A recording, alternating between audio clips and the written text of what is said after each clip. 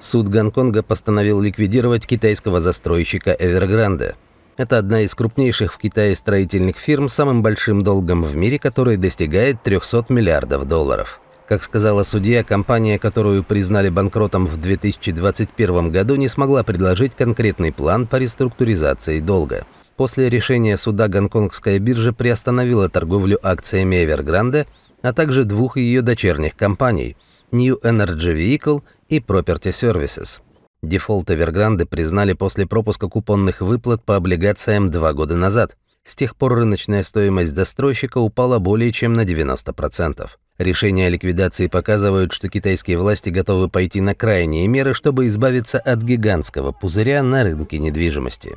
С сентября прошлого года владелец Evergrande Group, китайский миллиардер Хуэй Каян, находится под арестом.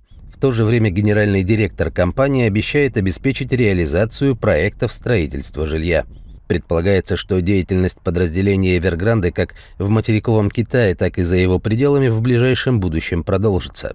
Причина в том, что Гонконг – это другая юрисдикция.